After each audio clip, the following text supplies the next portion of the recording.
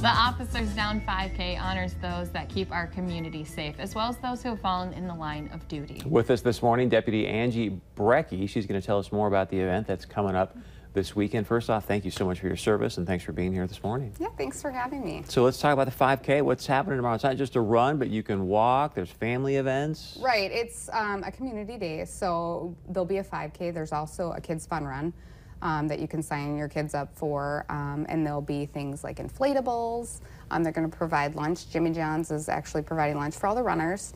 Um, face painting is going to be there. We'll have a bunch of uh, agencies there with their equipment. You guys can come out and see that. Um, I know Grand Forks SWAT team is bringing out their equipment, so people will be able to go see that, and we'll also have a canine demonstration. Um, I know uh, Crookston Police Department is bringing out their Dunk-A-Cop tank, so that'll nice. be yeah, that'll be provided. So there'll be some officers you can dunk in there, and um, I believe we're having um, a Border Patrol helicopter that will be there so people can come out and see that. And just really getting to see the equipment. Um, there'll be a face painter, so it's really kind of uh, something for everyone and mm -hmm. getting out and bringing the community together and you know, um, being able to talk to law enforcement and vice versa. Can you pay to get a Border Patrol helicopter ride?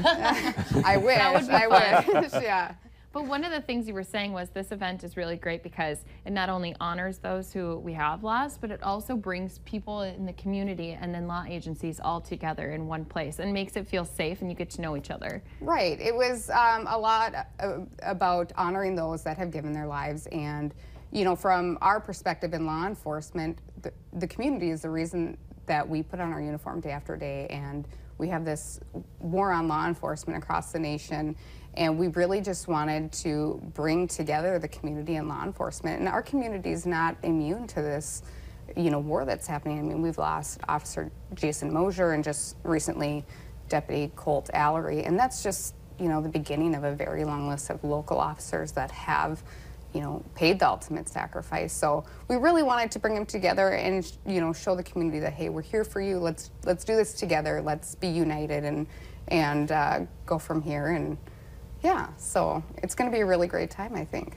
And you said you ran in the first one in Fargo. Yep. Uh, me and my partner that I work with actually ran the first one they had here about two years ago. Mm -hmm. And it was just something that we had been talking about, and we got the opportunity this year to bring it into our community. And um, we were really excited about that. Everything kind of fell into place. Mm-hmm. So, yeah, we're really excited about it. And we saw what a great um, opportunity it was for Fargo and how much it brought the community together. And so, yeah, we're really excited to have it with us. So year. for people that aren't registered, can they still just show up and help out tomorrow? And one of the nice things, I know that there's a small fee involved, if, if uh, I think, right? But it helps support your Yes, so the online registration is closed, but people can show up um, at 1:45 tomorrow. The community day is from 2 to 7. There'll be registration nice. on site, and they can sign up there.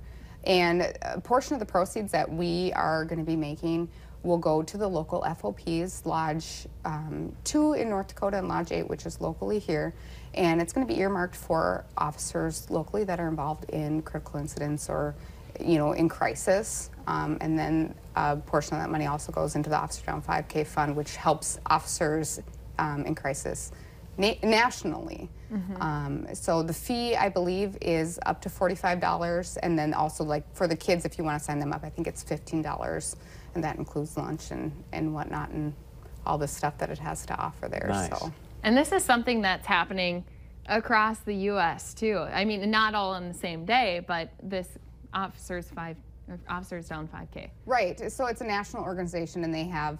Um, I believe Marshall, Minnesota is, is, next week, but they they are having them everywhere, all across the nation. They've had them out in Las Vegas, um, all over. So we were fortunate enough to be able to bring it into our community, and you know, got together with that, and yeah, I mean, it's just popping up all over. Mm -hmm. Talk about how important it is too, just for the community to connect with law enforcement, build that relationship.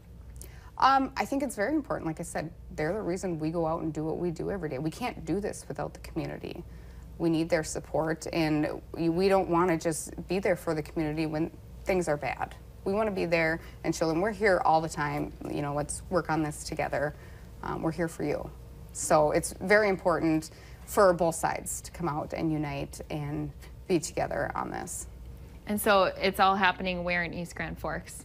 It's going to be right in front of the Blue Moose and Whitey's, um, kind of nice. on that restaurant row there by the bridge. Um, there's a whole parking lot that's going going to be um, quarantined off, kind of, so we can get in there and we'll have a DJ as well. Um, like I said, there's going to be face painting, and that whole parking lot's going to be filled. And also, uh, we're going to take advantage with our 5K route on the Greenway, which is a very beautiful spot there. Mm -hmm. And the weather's supposed to be great, and um, yeah, hopefully the water's warm for all those officers that are going to get dunked. But. That's so great. And if the kids that. are bad, I'm sure there'd be a few people who wouldn't mind putting them in handcuffs too. right, right.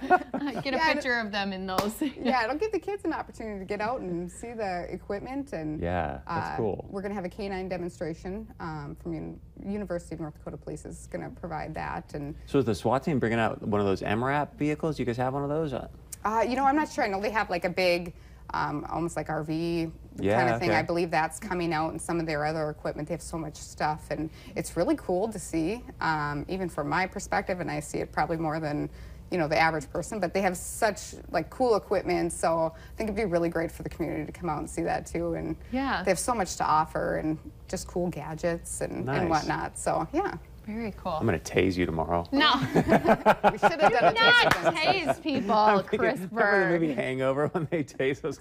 Thank you so much. We really, really appreciate yes. it. Thank you for having me. Have a great me. time. Mm. Larson's like, oh my gosh. I'm not. All right, stick around. We're going to wrap up this Friday edition of North Dakota Today.